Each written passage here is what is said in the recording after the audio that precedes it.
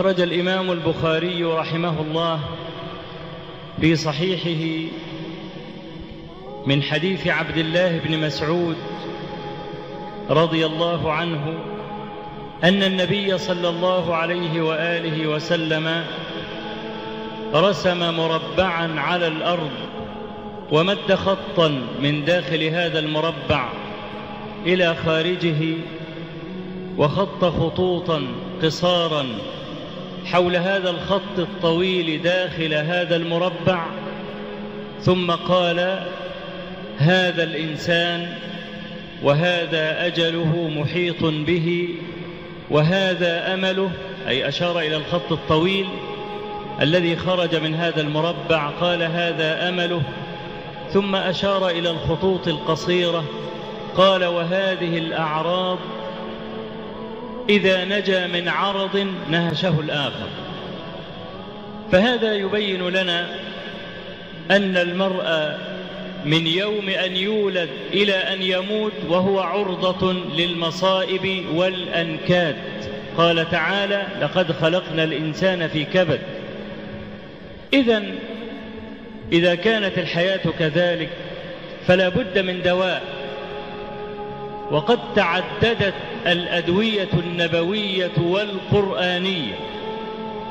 ومن أحسنها ما رواه ابن حبان وأحمد في مسنده من حديث عبد الله بن مسعود أن النبي صلى الله عليه وآله وسلم قال ما أصاب عبدا هم ولا حزن إلا قال اللهم إني عبدك ابن عبدك ابن أمتك ابن أمتك ناصيتي بيدك ماض في حكمك عدل في قضاؤك أسألك بكل اسم هو لك سميت به نفسك أو أنزلته في كتابك أو علمته أحدا من خلقك أو استأثرت به في علم الغيب عندك أن تجعل القرآن العظيم ربيع قلبي ونور صدري وجلاء حزني إلا كان حقا على الله عز وجل أن يبدل همه فرجا وحزنه فرحا. قالوا يا رسول الله أفلا نتعلمهن؟ قال حق لمن سمعهن أن يتعلمهن. حق أي واجب وفريضة. ما أصاب عبدا هم ولا حزن.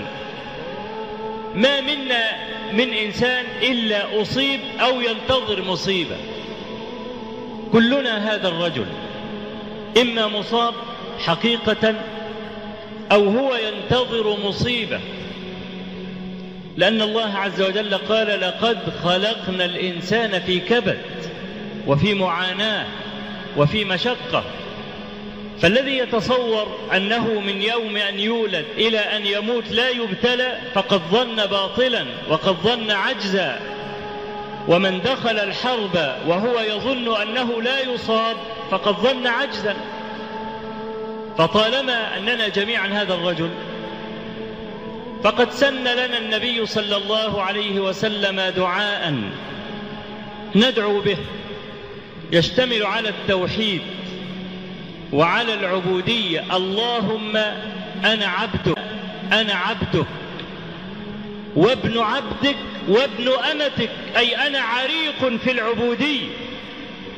وكان شيخ الإسلام ابن تيمية رحمه الله يكثر من ذكر هذا البيت.